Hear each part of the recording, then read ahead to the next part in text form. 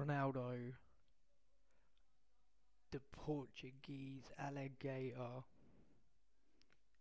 Souza picks up a big win against Francis Carmont to throw his name into the hat for that middleweight title, which everyone's got a chance at now. Silva's gone, and this division's really starting to come to life.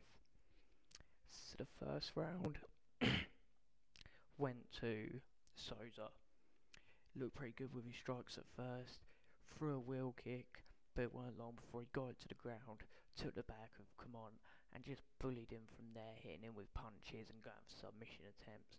At one point, the camera was filming him, and it looked like Carmont was actually dying. But, um, yeah, the referee done a good job of letting this go on the back, because Souza was working. Earlier on in the night, uh, it was in the Yuri Alcantara fight. They were scrapping on the floor like two dogs in an alley, and they stood it up. I disagreed with that. Uh, uh, but this one, Souza took that first round, no doubt, bullying him. Carmont looked a lot better in the second round.